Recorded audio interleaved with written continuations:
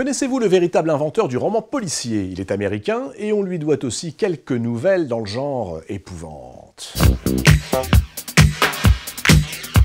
Edgar Allan Poe est un génie, tout simplement. Il a écrit des poèmes, des contes, des nouvelles qui frappent par leur concision et leur précision. Il a aussi inventé un genre, le roman policier, qu'il n'eut hélas pas le temps de voir prospérer car il mourut à l'âge de 40 ans, ruiné, après, dit-on, euh, une virée alcoolisée dans les tavernes de Baltimore. Le polar, selon Poe, eh bien vous le découvrirez avec l'un de ses chefs-d'œuvre, La lettre volée. Nous sommes à Paris, dans les années 1830. Le préfet de police vient chercher l'aide du détective Dupin. L'affaire qu'il doit résoudre est simple et bizarre à la fois. Un document de la plus haute importance a été volé dans les appartements royaux. Il s'agit d'une lettre privée, vraisemblablement écrite de la main de la reine.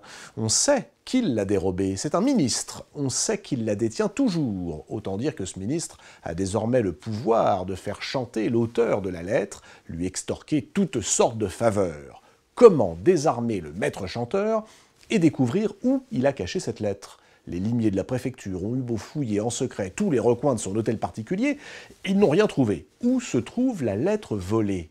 De toutes les nouvelles d'Edgar Allan Poe réunies sous le titre d'Histoires extraordinaires, la lettre volée est la plus exemplaire, la plus commentée, et tout particulièrement par les psychanalystes, de Marie Bonaparte à Jacques Lacan. D'abord, pour le lieu où on découvrira la lettre volée. Non, je ne vous dirai pas où.